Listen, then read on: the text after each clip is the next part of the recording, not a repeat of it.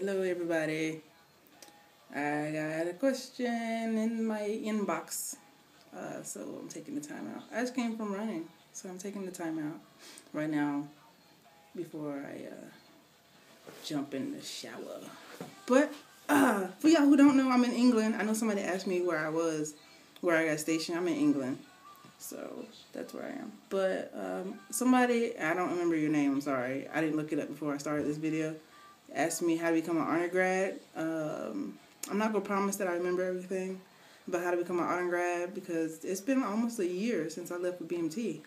It's amazing. It's been ten months since I left, but I'm gonna try to tell you everything I remember. So first thing to become an honor grad is that you have to be in a leader, in a position of leadership, and there are plenty of them.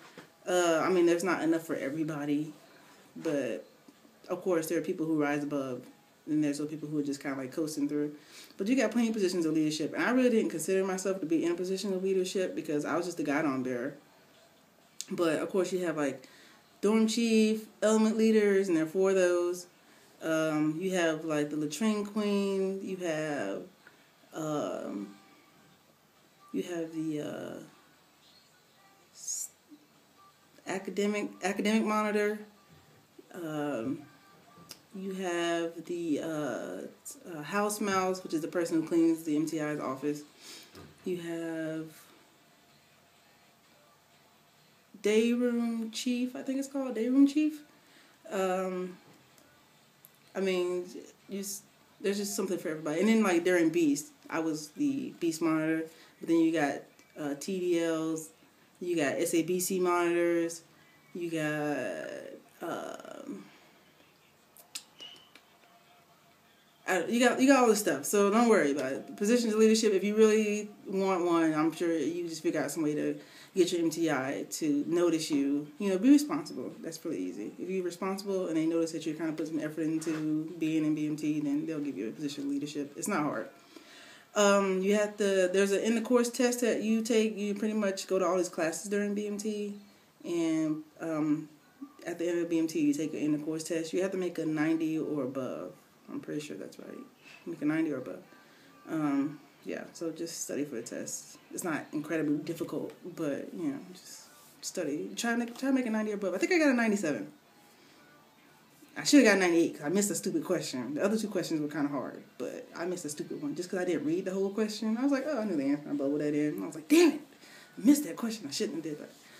Um, you have to have no derogatory comments. So basically, this means don't be a smartass in BMT like me. I didn't get derogatory comments, but I'm a smartass. But people thought it was funny when I said it. So unless you got smooth skills like me, don't try to be, don't try to like get on your MTI's nerves. You know, don't be like, I'm not gonna do this. Just do it. You know, don't be mouthing off to your dorm chief. Don't get busted doing something stupid by MTI. Don't get busted doing something stupid by an older flight. Um, don't do anything stupid uh, if they if they tell you to accomplish something, try to get it done within that time frame. You know, derogatory comments were normally given out for people who uh, disrespected our dorm chief. Um, they got derogatory comments if they failed the PT test. Yeah, you got to pass your PT test. Uh, I I don't remember if you have to make a particular score, but there are two different kinds of certificates or honors they give you for PT. One's a thun- Thunderbolt, which is what I got. Uh, I think because I made a 94 on my PT test. Uh, and then you got Warhawk, which is like damn near impossible to get. It's just because for people like me, I run slow. If y'all have watched my videos before, I run slow, whatever. Um, so, but yeah, if you can knock out, if you can get 100 points on your PT test, you get Thunderbolt, which is supposed to be pretty awesome. But I didn't get that. I got Warhawk uh, yeah, you try to get a good score on your PT test. That helps. Uh, no derogatory comments. Be in a position of leadership. Um, your MTI has to generally just like you. You can't like have all these things and your MTI just think that you suck because then he has to. You have to personally personally be recommended to get honor grad too. Um, there, I'm sure there's some other stuff, but I don't remember everything. That's I think those are the major things. Um, but when you get the BMT, they give you something called a BMTSG, which is like a little book, and I have it. It's just at home in South Carolina. I didn't bring it with me. but all the all the uh, requirements to become an honor grad are in there. So when I got the BMT and I saw that you can get an honor grad, I kind of pretty much just tried to get honor grad. So and it makes you it helps you just be a good trainee if you try to become an honor grad.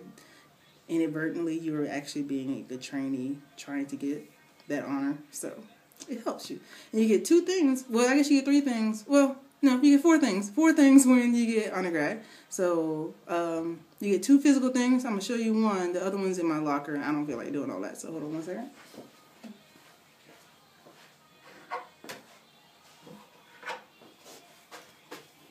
Okay, so when you graduate BMT, every airman that ever has existed since the implementation of the coin got getting one of these. Uh, even like the tech sergeants and staff sergeants and master sergeants and whatever. They might have a, a different design, but everybody gets one of these.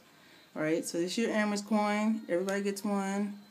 Uh, on coin during your coin ceremony, that's the week of your graduation. Everybody gets one. You see it? You can't buy this in the store. If you lose this, you're screwed.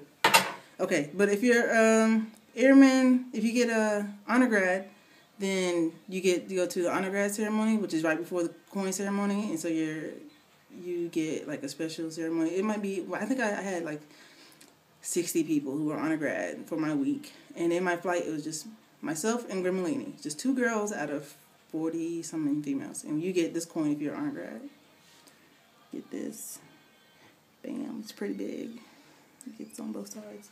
If you see airman coin, honor grad coin, grad coin is bigger than the airman coin is. So I thought it was more awesome. You get that. Also, you get a ribbon. Um, uh, it's in my locker. It's on my uniform, so I'm not gonna get that for you. Uh, you get you go to the honor grad ceremony, and because you're an honor grad, you get um, a day of another town pass, like automatically on on Saturdays. Everybody, unless your flight did something stupid, leading up to graduation, which you know your town pass can be taken away, but if you're an honor grad, uh, then you get free town pass on Sunday. So my flight, well, my flight also got PT, top PT female flight. So this would be out of the ordinary, but um, you graduate the coin ceremony. I believe it's on Thursday. Um, graduation, like parade, is on Friday.